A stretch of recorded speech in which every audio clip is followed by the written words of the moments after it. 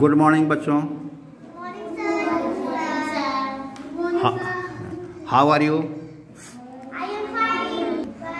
how are you how are you good very good तो अच्छा मेरे बगल में कौन खड़ा है? देखिए जरा सर इसको। मेरे बगल में कौन खड़ा है? पावनी। इसका नाम है। किस क्लास में पढ़ती है पावनी? हाँ इसका नाम पावनी है। और ये क्लास थर्ड में पढ़ती है। रोल नंबर कितना है पावनी तुम्हारा? सेवनटीन है तुम्हारा। क्लास रोल नंबर तुम्हारा कितना है? सेवनटीन है। ठीक है ना? तो देखिए, पावनी क्या है कि कुछ पेंटिंग्स बनाई है कुछ। ठीक है ना? उसको हम दिखाते हैं आपको। कुछ पेंटिंग्स बनाई है पावनी, उसको हम आपको दिखाते हैं।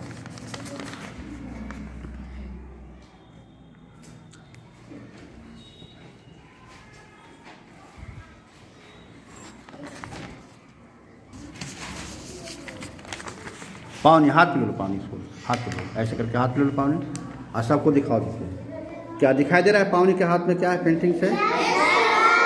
है ना? देखिए। सुंदर है ना? देख कितना पावनी कितना मेहनत की इसमें, कितना सुंदर बनाई है। पहले स्केचिंग की होगी, पहले। उसके बाद फिर रंग भरी इसमें। इस पेंटिंग्स में क्या दिख रहा है आपको? बताइए तो इसमें क्या बता रहा है? इस पेंटिंग्स में क्या है? हाँ बच्चे प्रार्थना कर रहे हैं है ना? और बच्चे प्रार्थना किन की प्रार्थना कर रहे हैं बच्चे? हाँ ये जो है ये सूर्य भगवान के आ, सामने बच्चे खड़ा होकर के प्रार्थना कर आप लोग करते हैं प्रार्थना? करते हैं ना? कब करते हैं? सूर्य भगवान की प्रार्थना कब करते हैं आप लोग? सुबह करते हैं आप लोग? अच्छा किस तरह से करते हैं? हम भी करते हैं। स्नान करने के बाद मैं भी क्या होता है कि सूर्य भगवान के सामने खड़ा हो जाता हूँ और हाथ जोड़कर खड़ा होते हैं और प्रार्थना करते हैं। आप लोग करते हैं सर स्नान करने के बाद? वाह। जो नहीं करते उन्हें करना चाहिए ना? हाँ उनको करना चाहिए। क्यों करना चाहिए?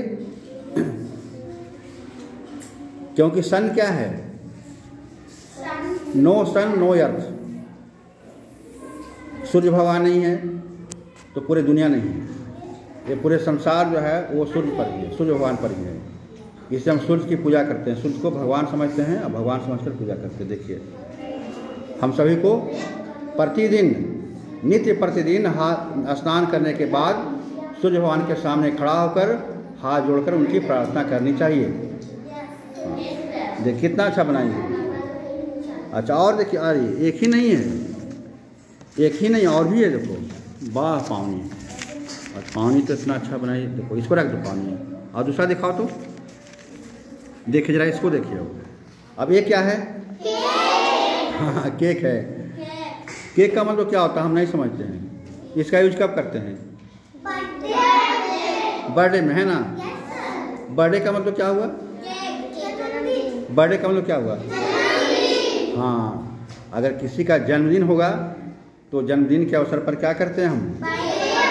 बर्थडे उसका बर्थडे सेलिब्रेट करते हैं और केक लाते हैं, देखिए केक है ना? अच्छा और क्या क्या देखो, कितना अच्छा बनाई है। केक में ऊपर क्या है, देखो तो ऊपर। ऊपर क्या पानी कैंडल ऊपर है ना? ओहो, अरे, देखिए, कितना इसमें। और यहाँ पर नीचे क्या लिखा हुआ है? एट लिखा हुआ है। एट का मतलब क्या होता है? एट का मतलब क्या हुआ? आठ तो हुआ है, लेकिन क्यों वहाँ पर लिखा गया है? हाँ ये जो है she has completed eight years age, है ना? इसने क्या हुआ? आठ वर्ष उम्र पूरा कर ली है ये। इसलिए आठ होगा अगर अगले साल बनाएँगे तो क्या लिखाएगा? नाइन लिखाएगा हाँ। बात लो तो बहुत जानते हो तो। जो तो बहुत सब समझदार सब है। और क्या पाओ इसमें? और एक लगता और पेंटिंग इसमें है, देखो तो। अच्छा अरे। अब देखिए आया, बहुत सारा कैंडल है, देखिए, ये भी क्या है? ये भी क्या है? बर्थडे केक है। और इस पर देखिए बहुत सारा कैंडल इसमें है। है ना, बहुत सारा कैंडल और ये क्या बैलून है देखिए। क्या क्या आता है? बैलून से सजाया जाता है। ठीक है ना? बैलून से, देखिए, बैलून से सजाया गया, कैंडल को जलाया गया है और देखिए, बर्थडे का केक है। चलिए, बहुत अच्छा बनाइए। तो अब आप लोग में से कोई बनाइए। आप लोग भी बना करके इस तरह से आप दिखाइए सभी को। बर्थडे केक हो गया, फिर देखिए, और तरह तरह का बहुत सारा पेंटिंग्स है है ना? ये भी देख लिया आपने। ये सूर्य की सूर्य भगवान की पूजा करते हुए है। आप लोग भी बना करके आप लोग भी लाइए दिखाइए।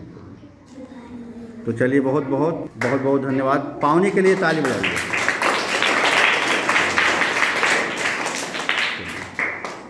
पावनी के लिए क्या हाँ।